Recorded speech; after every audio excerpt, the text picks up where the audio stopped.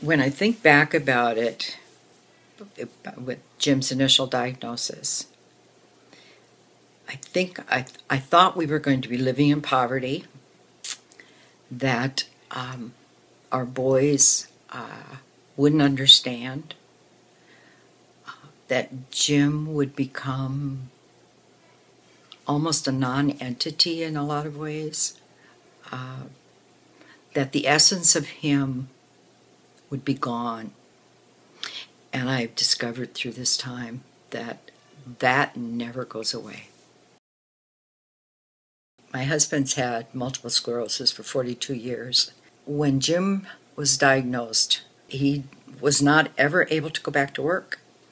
So at the tender age of I was like 28 and and pretty sheltered really. I had to learn how to be who I am and to take find my own power. We caregivers are the backbone of the long-term care industry. We provide 80% of all the care in uh, that's given. Without family caregivers or informal caregivers, the entire long-term care system would crash. When I meet with a with a, a, an elected official and tell them that I'm a caregiver for my husband who has MS, I immediately get, "Oh, you poor thing, and what a wonderful job you do."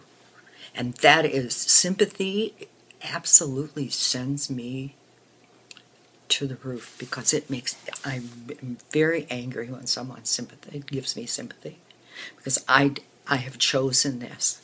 I've been a very fortunate woman to have Jim as my husband all these years. He's my best friend, he's my companion, he's my confidant, and he's my partner.